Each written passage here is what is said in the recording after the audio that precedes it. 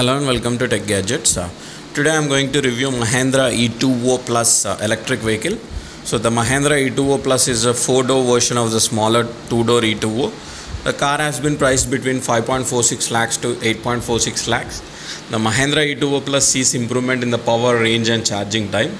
So in 2009 Frankfurt Motor Show and the DC design car made it to production in the form of a two-door and was christened the E2O in 2013. The car is still viewed as expensive for its size but hasn't stopped Mahindra from bringing the E2O Plus, the four-door version of the car that launched in India. The E2O Plus is an extended version of the two-door hatch. This four-door version is available in three variants and price starts from 5.46 to 8.46 lakhs ex-showroom Delhi. And Mahindra E2O Plus like the E2O, the new car body is made out of ABS panel and not pressed metal. The panel's versatile character helps in molding it to form a wide variety of products, which once again has helped Mahindra in keeping both the weight of the car and manufacturing costs down. And Mahindra E2O Plus cabin, it also offers owners an easier option of replacing body panels in case of a bump or dent.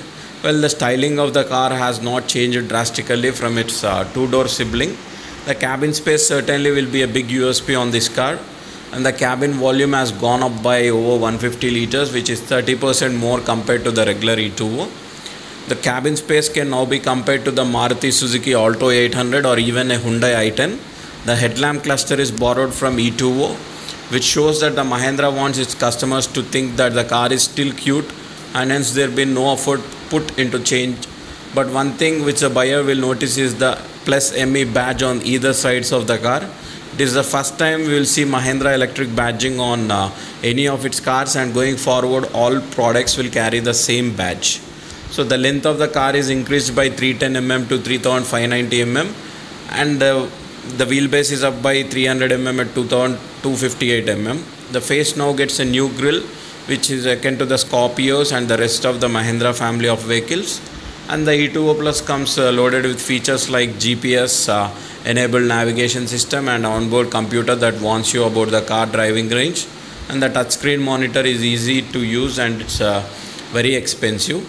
The E2O Plus also gets an SOS feature called Revive which is uh, being carried over from the E2O that gives you an additional range of 7 to 10 kilometers uh, if your battery power dips uh, below 10% and this can be activated by a touch button or using the E2O Plus app on your smartphone. And the mobile app also hosts other features like uh, switching on off the car's air conditioning and even locking unlocking the car uh, also. The top specification p8 variant of the car has a three phase induction motor which is now more powerful than what we have seen on the two door e2o with peak power of 40 bhp and torque of 91 newton meters but most of the work has been done on the battery it now gets a 210 ah lithium ion battery which claims a driving range of 140 kilometers and a top speed of 85 kilometers per hour. The other variants get a slightly less powerful battery claiming the same driving range of uh, 110 kilometers. The driving range of the car, however, will vary according to one's driving style and traffic conditions. A full charge for E2O Plus takes about 9 hours, uh, same time as uh, what two-door E2O takes uh, to power up. The drive is extremely smooth and of course very kite. The car is quick in short bursts and uh, uh, but the slightly softer suspension offers a decent ride. But you do feel some of the bumps and potholes occasionally. The rear seat also the cabin is spacious and offers decent legroom the car room uh, uh comes standard with the 14 inch wheels and power steering as well. 4.35 meter turning radius is best in segment and the automatic gearbox is unchanged from two door variant and gets a boost or sport mode.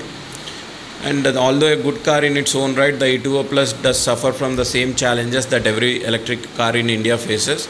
We still don't have the infrastructure to support electric cars in india and barring states like karnataka delhi rajasthan and other states have announced any kind of incentives for uh, electric vehicles in india which is the reason why sales of electric cars are less than 1% of overall car sales we hope that with GST coming in, the government also announces some major incentives under the FAME scheme of, to encourage the sales of electric cars. So hope that guys uh, you like this update. Uh, please comment and subscribe for my channel for more tech and auto related updates. Thank you.